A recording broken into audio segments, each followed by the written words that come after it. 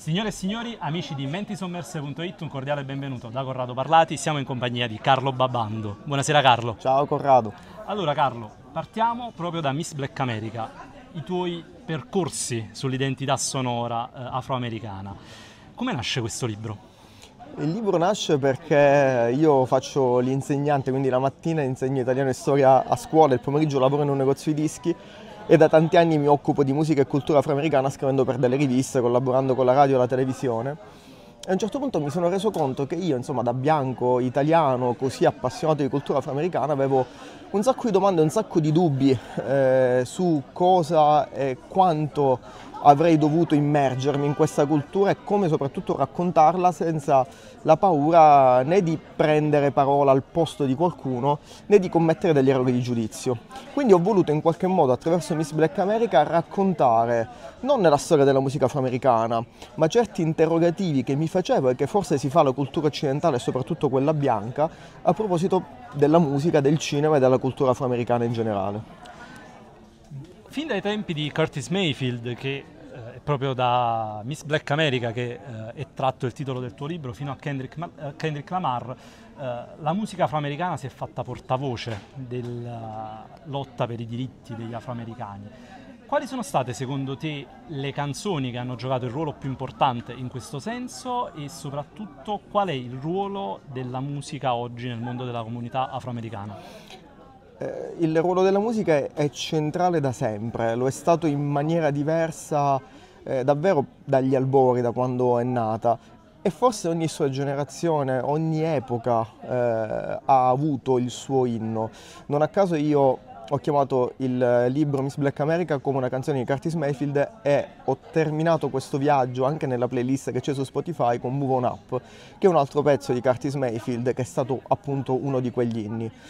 Eh, quando ti dico ogni generazione ha avuto il suo perché penso che anche eh, King Kunta di Kendrick Lamar è stato un inno, ovviamente eh, lo è stato, eh, lo sono stati diversi brani di Nina Simone, eh, di Aretha Franklin, di Otis Redding, eh, andando anche al di là poi dei vari linguaggi musicali dei vari generi. E questo è importante perché ha tracciato un solco profondo non solo per la comunità afroamericana, ma si è riverberato anche al di là eh, dell'Oceano Atlantico, arrivando anche dalle nostre parti fino appunto a diventare la colonna sonora per esempio di Black Lives Matter eh, e di eh, una serie di progetti legati all'attivismo afroamericano che si è espanso a tal punto da diventare un attivismo che è andato oltre gli Stati Uniti, perché poi noi parliamo di America, ma America è un continente, l'Africa è un continente, l'Europa è un continente, ma a seconda del momento questi continenti o porzioni di questi continenti hanno cantato e ballato su un certo brano. Eh, sarebbe difficilissimo sceglierne alcuni. Um, io penso che per dire, ora, se andiamo ad un album come What's Going On, che praticamente un concept legato in qualche modo alla voce e al riscatto della comunità afroamericana, penso che, eh, come ti dicevo, sia quello che a volte brani che magari non sono nati per quel motivo hanno saputo raccontare eh, la, il dolore, il, eh, però allo stesso tempo per l'appunto la potenza della cultura nera. E questo è un fatto che oggi a volte ci ricordano eh, come dire, le playlist su Spotify e su Netflix che temo eh, a volte semplifichino un po' troppo questa cosa, questo concetto. Assolutamente. C'è sì. bisogno quindi ancora una volta e soprattutto forse per chi afroamericano non lo è di andare a studiare, a scoprire certe cose per avere coscienza di quello eh, davanti a cui ci troviamo oggi in Italia dove anche la multiculturalità seppure più giovane sta diventando un fatto importante di cui dobbiamo assolutamente tenere conto. Ancora di più forse se siamo appassionati di cultura afroamericana. E nel tuo libro citi anche, ovviamente, l'importanza del blues e del gospel nel, nell'affermare quelle che sono un po' le radici culturali e anche quanto poi sia importante il ruolo del campionamento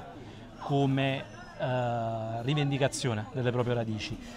Quali sono state le caratteristiche quindi del blues e del gospel che poi magari se passeggi per Harlem ti rendi proprio conto di quanto sia fondamentale da un punto di vista sociale la Chiesa in una comunità come quella. Quali sono state quindi le caratteristiche di questi due generi? da questo punto di vista ovviamente. La cultura afroamericana e la musica afroamericana forse più di ogni altra è stata capace di guardare al proprio passato eh, rendendolo presente e proiettandolo nel futuro. Quando per esempio parliamo di blues eh, o di gospel, quindi eh, forme come il gospel che sono praticamente diciamo, mediate dalla Chiesa. Il blues poi è quasi un gospel profano, lo è stato anche, il discorso è complesso, nel libro eh, paradossalmente ne parlo alla fine come in un eh, viaggio a ritroso, proprio con l'idea che il tempo si può polverizzare quando parliamo di musica afroamericana. Eh, il, eh, diciamo che quello che è stato mediato per l'appunto dal, eh, dalla Chiesa è diventato fondante per tanti generi musicali. Pensiamo anche appunto al rhythm and blues, pensiamo a grandi nomi come quello di Ray Charles eh, e il fatto che il rhythm and blues degli anni 50 non abbia perso neanche il suo nome perché se parliamo di R&B parliamo di rhythm and blues, contemporary R&B oggi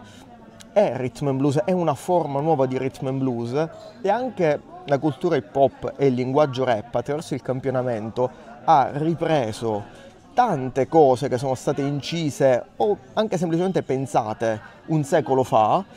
e attraverso il campionamento le fa rivivere e le proietta nel futuro. Ecco perché polverizzare il tempo in questo senso è molto interessante ed è una cosa tipica della musica afroamericana che permette anche alle nuove generazioni che, parliamoci chiaro, oggi negli Stati Uniti difficilmente ascolteranno Marvin Gaye, certo. ma magari ascoltando un brano rap che campiona Marvin Gaye hanno coscienza che un passato c'era e che può diventare futuro e anche questo è, è qualcosa che secondo me, mm, come dire, eh, forse attrae tantissimo il pubblico bianco occidentale proprio perché noi rispetto all'Oriente e alla, anche alla cultura afroamericana abbiamo un po' perso il contatto con il nostro passato, con le radici. Assolutamente. E parlando proprio del ruolo culturale della musica è impossibile non citare il rap. Rap che parte come genere che nasce eh, nei blocks del, di Southern Bronx a, a Sedgwick Avenue e che poi si fa portavoce da un punto di vista socioculturale di quelle che sono le condizioni di chi in quel momento viveva una condizione sociale degradata, partendo da PSK What Does It Means, che probabilmente di School DG è il primo disco gangsta rap che è stato inciso, fino ad arrivare poi a Kendrick, passando per NWA e Public Enemy, che esprimevano una rabbia eh, simile anche magari però con un linguaggio diverso. Quali sono state nell'ambito del rap secondo te le tappe fondamentali? Io nel libro cerco di ricollegare la, l'inizio del rap con l'identità black british e quella giamaicana, eh, attraverso la figura di Kulerk, quindi appunto come dicevi tu, no, dei primi block parties, eh, eccetera, eccetera. Io credo che uno dei torti che si possa fare al rap è alle varie fasi del rap, perché per l'appunto quello che è nato nel Bronx rispetto a quello della West Coast o al rap di oggi che può essere quello di Kendrick Lamar ma anche quello di Tyler the Creator che comincia ad essere per l'appunto un rap ibridato con altre forme musicali, penso che ognuna di queste tappe sia mh, mm, fondamentale ma sia da parte nostra um, come dire, abbiamo quasi l'obbligo morale di accettare queste tappe così per come sono state. Mi spiego meglio. Eh, l'idea di eh, considerare queste figure importantissime come musicisti slegati loro, dalla loro retroterra culturale, eh, a volte da un messaggio come quello del conscious rap, il rap politico, penso a Chuck D, ma non solo a lui, Common, eccetera, eccetera ma allo stesso tempo slegarli dalla strada in alcuni casi, quindi farne un santino, è altrettanto sbagliato, cioè negare il fatto che alcuni di loro siano mh, fuoriusciti da un contesto mh, duro e violento e siano rimaste persone dure e violente, quindi eh, in, assolutamente, eh, come dire, eh, possono essere protagonisti di atti eh, criminali. Eh. ecco, anche quello è importante perché snaturarli e farli diventare qualcosa di diverso o farli diventare una macchietta, perché anche quello è l'altro rischio, è altrettanto sbagliato. Pensa, eh, pensiamo ad oggi al rap contemporaneo che si vive poi di tanti influssi diversi, ma allo stesso tempo i fatti degli ultimi giorni con Diddy e tutto quello che sta accadendo eh, ci mostrano che comunque qualcosa che emerge da un contesto di prevaricazione, di, di rabbia, di criminalità, può ritornare a quello con molta facilità, così come un rap che è eh, il conscious rap, diciamo prima, quindi che abbia dei mh, mm, connotati e dei contenuti di altro tipo, può portare a un altro tipo di ragionamento. Però in qualche modo entrambi, compreso il gangsta rap, il bling bling, hanno ragione d'essere in quel momento e per quello che hanno detto. Certo. E la scena jazz contemporanea si è anche molto interpolata con quella hip hop. Penso per esempio a To Pimp Butterfly di Kendrick che ha chiamato intorno a sé i principali jazzisti della nuova scena di LA, quindi Kamasi Washington, ma anche tutto il resto del supergruppo. E c'è effettivamente una nuova scena jazz emergente molto importante, Kamasi, ma anche eh, la stessa Nubia Garcia che da poco ha rilasciato il suo nuovo album. Ed è un jazz che guarda molto anche agli altri generi, si basa su una ricerca enorme. Qual è il tuo sguardo sulla nuova scena jazz londinese e americana? Il mio sguardo è da una parte lo sguardo di un ascoltatore, di un giornalista che attraverso questo nuovo jazz eh, riesce anche a mm, mm, subire un nuovo fascino, mi viene da dire, eh, rispetto a linguaggi come il rap, il soul, che in certi casi mi avevano anche un po' stancato, invece così li trovo rinnovati. Dall'altra, dal punto di vista di eh, una persona che mh, mm, lavora all'interno di un negozio di dischi, eh, perché oltre a fare l'insegnante per l'appunto stare dietro il bancone del negozio di dischi mi porta anche a vedere un pubblico più giovane di me all'avvicendarsi anche di diverse generazioni, visto che ci lavoro ormai da dieci anni dietro il bancone di un negozio di dischi, mi ha fatto capire quanto eh, i ventenni di oggi non abbiano l'ossessione di eh, dividere la musica in generi musicali, in generi ehm, che abbiano distinzioni anche di tipo, mi viene a dire, storico-sociale, cioè per loro spesso il jazz e il rap fanno parte di una stessa famiglia, così come magari vengono percepiti davvero dalla comunità afroamericana molto più che da quella bianca europea. Il pubblico bianco, europeo e borghese poi è il, il pubblico che per la maggior parte dei casi ascolta certi dischi però se oggi un, uh, un, album come quello di Kamasi Washington, di Alfa Mist in Inghilterra o di Nubia Garcia, come dicevi tu, riesce a um, conquistare un, appunto, ragazzi che hanno 20 anni e persone che ne hanno 60, eh, riesce a apparire in dei cartelloni di festival più o meno generalisti e più o meno commerciali, vuol dire che ha una potenza sia dal punto di vista discografico che dal punto di vista culturale che non ha perso un briciolo eh, rispetto a, a, 50 anni fa. Il jazz nello specifico, se pensiamo a Miles Davis, Herbie Hancock, eccetera, eccetera, ha avuto sempre la grande capacità di inglobare altri linguaggi, di farli propri, di rinnovarli. Oggi lo fa anche in un'accezione più commerciale, che non è necessariamente una, una cosa negativa, certo. eh, e lo fa soprattutto a cavallo dell'oceano, perché un'altra cosa di cui mi sono accorto è che spesso eh, i ragazzi più giovani che venivano a comprare dei dischi di Alfa Mist non si rendevano conto che non fosse afroamericano ma fosse inglese. E quello che racconta Miss Black America è anche proprio questa percezione e che cosa cambia tra l'essere afroamericano e avere un'identità black british che è collegata quindi al colonialismo, alla Giamaica nella maggior parte dei casi, non necessariamente, all'Empire Windrush che è appunto questa nave che arrivò eh, a Londra e a cui si collega, non è ovviamente l'unico, l'unico, momento, però si collega il movimento di immigrazione di questi sudditi a, que, a, quel tempo giamaicani che arrivavano a Londra e di come oggi queste cose si espliciti per, per dire in un disco di, di Sanfo di Georgia Smith, che vengono percepiti come artisti solo RB o pop neri ma non afroamericani, perché di fatto non sono afroamericani. Certo. E parlando di Miss Black America, nel corso della storia sono state tante le Miss Black America. Ce n'è stata forse una che brilla su tutte, che è Whitney Houston, che è stata la donna che ha verosimilmente eh, riscritto il concetto di pop star al femminile, probabilmente al maschile lo ha fatto Michael Jackson, altro artista afroamericano. Volendo ampliare lo sguardo a questi due artisti, Whitney Houston e Michael Jackson, qual è stato secondo te il loro contributo nella diffusione della cultura afroamericana e anche da un punto di vista sociale? Eh, sicuramente entrambi sono riusciti a veicolare eh, la musica afroamericana, seppur in forma diversa, a un pubblico praticamente enorme. lo hanno fatto maneggiando la materia più insidiosa e allo stesso tempo eh, forse quella di maggior attrazione per il grande pubblico che è il pop.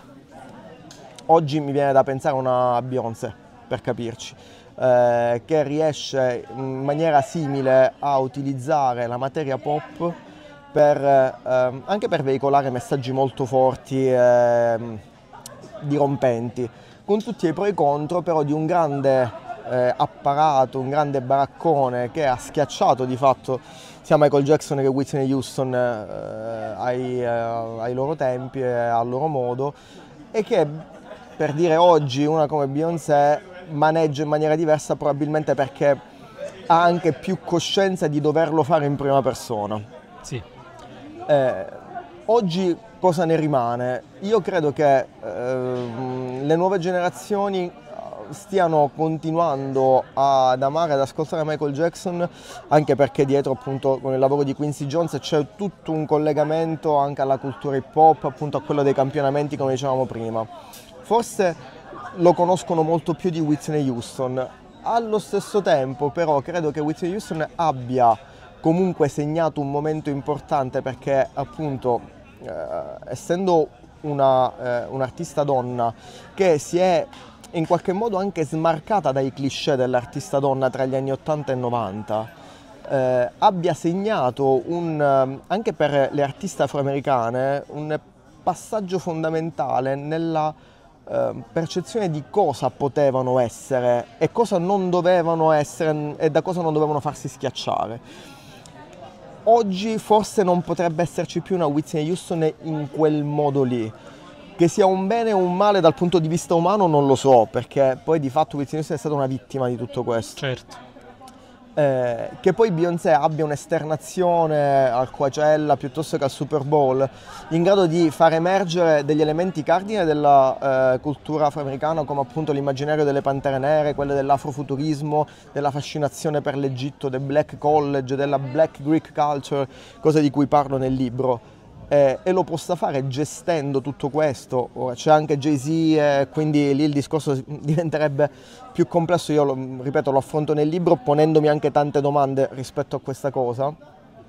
Ecco, questo è importante. Se non ci fosse stata una Whitney Houston, ci sarebbe una presa sulla pop culture bianca anche, come quella che possa avere adesso Beyoncé, cioè il pubblico di Beyoncé quanto è cosciente di quello che Beyoncé sta facendo sul palco al di là delle coreografie? E quanto ha voglia di approfondire queste cose? Perché quello che dico sempre sì. è che se forse nel momento in cui seguivi Whitney Houston potevi prescindere dal cominciare a capire cosa fosse la black Greek culture oppure l'epopea, l'epica e la dolorosa parabola delle pantere nere adesso con Beyoncé teoricamente non dovresti poterlo fare più. Di fatto succede ancora e questo è un altro dei problemi che mi pongo nel libro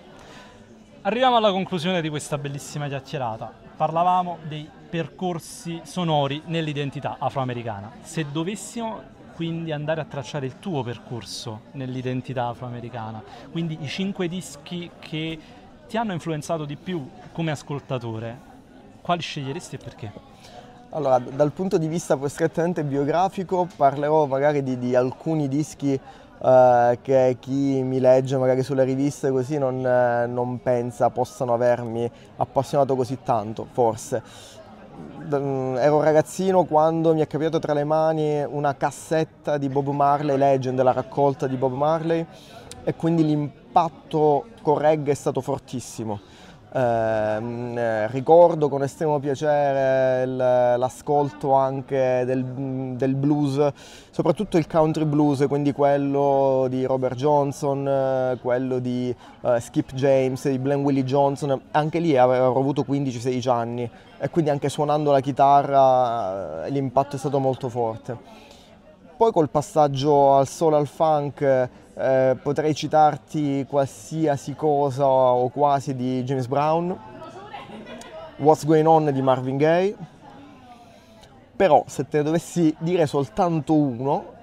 eh, ed è un artista di cui mi dilungo tanto in Miss Black America, non a caso è Gil Scott Heron e il disco sarebbe Winter in America, che è un disco che va al di là di ogni genere musicale, che è stato inciso da un, un artista che ha detto tante cose bellissime, tante cose importantissime, che è morto facendo il contrario di quello che aveva detto prima, quindi eh, ponendoci anche lì tante domande come se le era poste lui, che è stato chiamato il padre del rap, ma lui ha rifiutato questo ruolo fino alla fine e che è stato capace poco prima di morire di incidere un disco che c'entrava apparentemente poco col soul e che quindi eh, viene eh, messo di solito tra gli scaffali di musica elettronica nei negozi di dischi, che però è profondamente nero eh, e che riascoltato oggi, ehm, in realtà poi riascoltando oggi l'intera discografia di Scott Theron, per quanto controversa in alcuni passaggi, eh, ripeto, dolorosissima, rimane mh, di grandissima attualità ed è uno di quegli autori che ci fanno fare tante domande come quelle che spero si facciano i lettori del libro. Carlo, io ti ringrazio per questa bellissima chiacchierata. Grazie a te. E questo è Miss Black America.